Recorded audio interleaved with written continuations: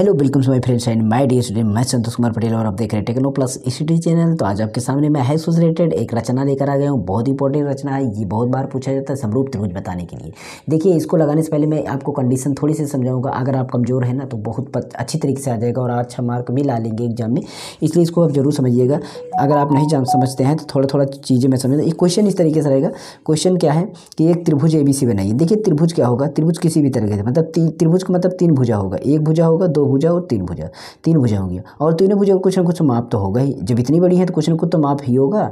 इसलिए तीनों की माप हमें पता होना चाहिए, तभी तो त्रिभुज बनाएगा पहला नंबर। तो त्रिभुज में तीनों त्रिभुजा की माप होनी चाहिए। यह तो कंडीशन अगर दे दिया गया पेपर में नहीं दिया गया है कि तीनों भुजा तो इसका मतलब संधिबाहू दिया जाता है समबाहु त्रिभुज दिया समसोड़ समकोर त्रिभुज दिया जाता तो कुछ भुजाएँ देना पड़ेगा, पूरा नहीं देना पड़ेगा। लेकिन अगर कोई भी त्रिभुज नहीं दिएगा तो वो तीनों भुजाएँ देनी पड़ेगी। ठीक है? ध्यान दीजिएगा। कभी कभी इन सबके बीच का कोण भी दे दिया जाता है। क्या दे दिया जाता है? कोण दे दिया किया जाता है।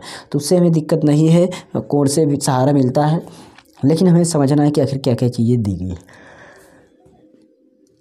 ठीक तो यहाँ पर बात क्या ध्यान देने वाली है? त्रिभुज में बनाना चाहिए, तीनों भुजा का माप होगा। तो यहाँ पर देखते हैं क्या तीनों भुजा का माप। तो यहाँ पर देखिए, मिल रहा है आपको एक भुजा ए माप है। बी सी बोला जा रहा है छः सेंटीमीटर, फिर ए भी बोला जा रहा है पाँच सेंटीमीटर, और इसके साथ साथ आपका एक इसमें नहीं लिखा गया है। दो लिखा गया है, केवल तीन मतलब होना चाहिए। और एंगल आपका सिक्सटी एंगल लिखा गया है। साठ अंश का कोड लिखा गया है। तो कोई दिक्कत नहीं यार।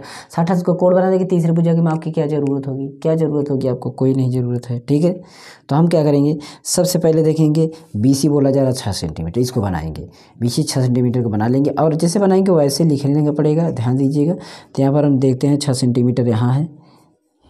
ध्यान दीजिएगा क्या है, यहाँ पर है। तो यहाँ से मैं छः सेंटीमीटर ये खींच लिया ठीक है? ये।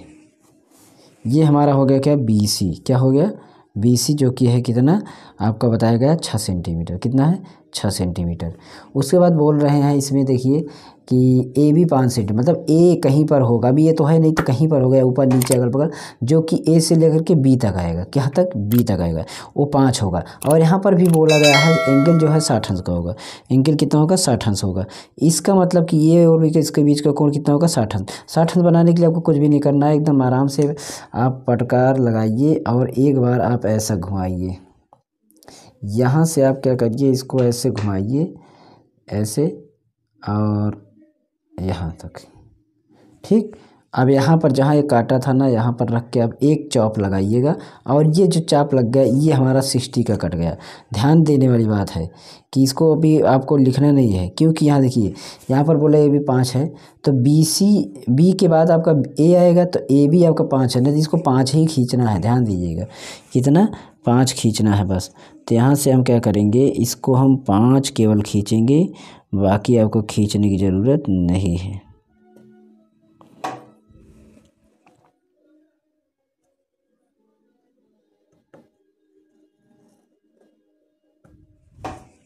ये हमारा पाँच हो गया। कितना हो गया यहाँ तक? यहाँ तक पाँच हो गया है, ठीक है? पाँच सेमी। और यहाँ पर हम ए मान लेते हैं। अब ए भी क्लियर हो गया पाँच सेमी। मतलब हमें जितनी भुजा दी उतनी बनाना बनाना पड़ेगा पहले। अगर उतना बनाएँगे तभी काम होगा। नहीं होगा नहीं आपका। और इस भुजा को हम वैसे ही मिला देंगे। जो तीसरी भुजा है, अपने आप जो भी रहेगी, माप निकल जाएगी। इससे कोई आपको दिक्कत नहीं होनी चाहिए। ये हो गया आपका बन गया ये। अब यहाँ पर जो कंडीशन है इसमें समझना क्या है? त्रिभुज रहेगा। पहला पॉइंट त्रिभुज रहेगा। त्रिभुज में तीनों भुजाएँ दी रहेंगी और तीनों भुजाएँ देने के साथ साथ कोड भी दिया जा सकता है। अगर नहीं भुजाएँ दी है तो कोड दिया जा सकता है। और इसका रचना करना है। रचना मतलब लिखना भी है, बनाना भी है। उसके बाद भुजाएँ, त्रिभुज ए बी सी की संगत भुजाएँ तीन बटे चार में हो। कितने? यही पॉइंट ध्यान है तीन बटा चार में हो। कितने में? तीन बटा चार में। इसका मतलब हम जो ऊपर है, पहले इसको देख लेते हैं, जो नीचे है। तो कुल जो होगा, उतना हमें चाप काटना है। लास्ट वाला, सबसे बड़ी संख्या कौन सी है? चार। तो सबसे बड़ी संख्या वाले को चाप काटना है। क्या काटना है? सबसे पहले तो हमें न्यून कोण बनाते हुए एक रेखा लिखे, बनाएँगे। तो न्यून कोण बनाते हुए मैं एक रेखा लिख देता हूँ, जैसे कि ये एक हो, एक रेखा किरण हो गई। इसको कितना बनाएँगे? ये किरण है, और यहाँ पर बोला जा रहा है, तीन खाना तक बनाइएगा। ठीक है, कितना? तीन खाना तक आपको बनाना है।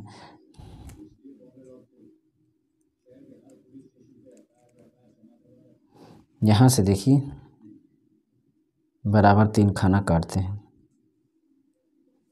एक खाना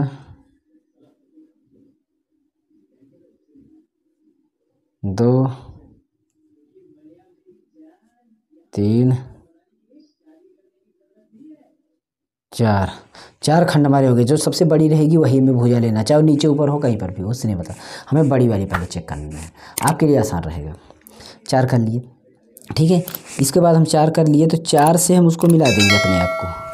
जो हमारा बस भुजा था, उसको हम चार से मिला देंगे, ठीक है? तो हम इसको चार से क्या करते हैं? मिला देते हैं यहाँ से। चार से मैंने मिला दिया। लास्ट वाला पॉइंट हमें मिलाना है। अब देखिए, इसमें बोला गया है कि चार के बाद तीन पे हमें रिटर्न होना है मतलब तीन पे हमें फिर से बनाना है। और इसके समांतर, किसी के समांतर जब कभी भी बनानी हो तो जहाँ से रेखा टच हुई है, क्या करना है, वहाँ से आप एक चाप ले लीजिए, पहला नंबर, एक चाप ले लीजिए। और इस, उसी रेखा को काटिए जो आप जिस, जिसके बारे में आप चर्चा कर रहे थे इसी रेखा को मैंने पार किया। इस रेखा को नहीं पार क्योंकि हमें चर्चा इसकी हो रही। तो इसके हिसाब से मैंने बोला गया था चार पे तो मैंने चार पे रखा। अब तीन पे बोला जाए तो तीन पे आप रख के खिंचाइए। यहाँ पर पार हमें नहीं करना है, ध्यान दीजिएगा। इस तरीके से कर दिए ठीक है? अब हमें क्या करना है, इसका माप लेना है केवल। माप कैसे लिया जाएगा? थोड़ा सा आप कम ज़्यादा करके आप इसको देख लीजिएगा कहाँ पर काट रहा है। देखिए बीचों बीच कट रहा है कि नहीं कट रहा है तो इसे देखिए बीचों बीच कट रहा है। ये देखिए बीचों बीच कट तो इसी तरीके से इस पर रख के काट देना जैसे इसको आपने काटा, वैसे ही काटना है। ये देखिए, ऐसे काटना है, ठीक? अब हमें तीन यहाँ पर है। यहाँ पर है। तो यहाँ से हमें खींचना पड़ेगा, क्योंकि तीन पे बोला गया है। तो तीन पे हमें यहाँ से खींचना पड़ेगा। और यहाँ पर हमारा जो कटा था, यहाँ पर हमें उसको मिलाना है। ये इस तरीके से हो गया ना। अब बताइए, ये वाली भुजा कैसे बनी? बाहर के हिसाब से। किसके हिसाब से? बाहर के हिसाब से। तो आप इस बाहर वाली को, आप इसको भी वैसे जाँच करिए। यहाँ पर एक चाप ले लीजिए।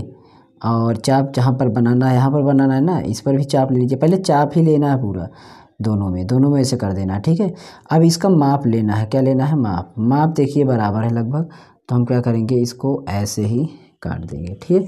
अब हमने इसमें देखिए, ऐसे मिलाया गया है यहाँ से मतलब अपने जगह से। तो यहाँ पर पाँच है, तीन है, तीन वाली जगह से मिलाया जाएगा।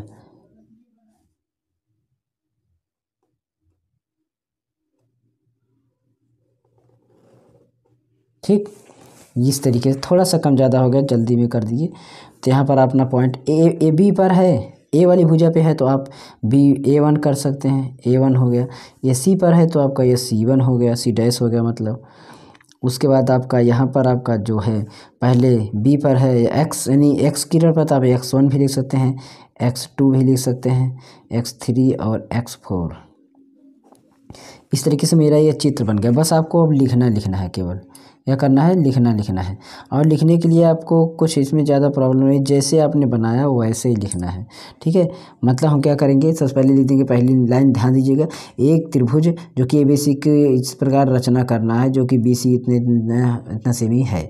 ठीक है ना? उसके बाद हमें क्या लिख देना है? किरण आपका बी पर बी एक्स किरण खींचा और बी एक्स किरण खींचने पर जो कि न्यून कोड बन रहा है, ये आप लिख देना है। अगला आपका है कि जो यहाँ पर आपको विभाजित किए हैं तो इसको नंबरिंग करना है, इसके बारे में समझाना है। ठीक है? यहाँ की आपने लिखा कि बी एक्स पर बिंदु X one X two X three X four, इस तरीके से मैंने अंकित किया। पहले यही लिखा तो इसको अंकित किया। फिर इसको माप कैसे लिखा जाएगा? ध्यान दीजिएगा। बी से आप कहाँ आ रहे हैं? एक्स वन पे आ रहे हैं। तो आप इसको माप कैसे लिखेंगे?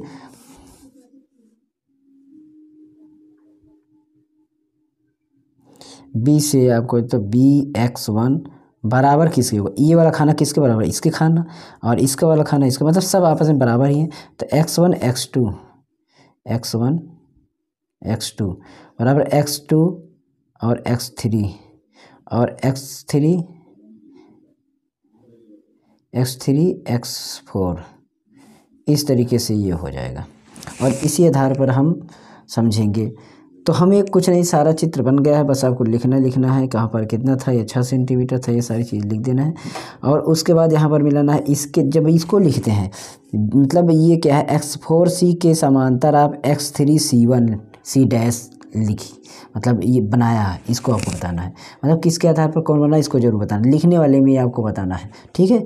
तो आप लिखिएगा, ट्राई करिएगा, हो सकता है आपको सारी चीज़ें समझ में आ जाए। तो बाद में आपको क्या करना है कि आपको लिख देना है एक्स थ्री सी जो है, एक्स थ्री सी आपका समांतर है किसके? X four C. इसके समांतर है, ठीक है? ये इसके समांतर है, इसको भी लिख देना है। तो यही था वीडियो, और इसमें रचना हमने नहीं लिखा, रचना थोड़ा बड़ा होता है, इसलिए मैंने टाइम नहीं खा हुआ कैसे बना उसको देखो, रचना, जैसे बना उसी तरह रचना लिख देना, आपके समझ में है, ठीक है? फिर मिलते हैं किसी अगले वीडियो में, तब तक के लिए आप संतोष कुमार को दीजिए इजाज़त और बने रहिए मेरे टेक्नो प्लस यूट्यूब चैनल पर। और एक बार विज़िट कर लिए पूरी प्लेलिस्ट लगी हुई है आपके लिए और अच्छी अच्छी वीडियो पड़ेगी पढ़ती है और वन शॉट वीडियो में सभी विज्ञान के सभी चीज़ें की वो आप वीडियो आपको मिल रही है, ठीक है? तो ज़रूर एक बार विज़िट करिएगा अच्छा लगे तो लाइक शेयर कर दीजिएगा, ना अच्छा लगे तो डिसलाइक करके और कमेंट पूरा दे देना, ओके?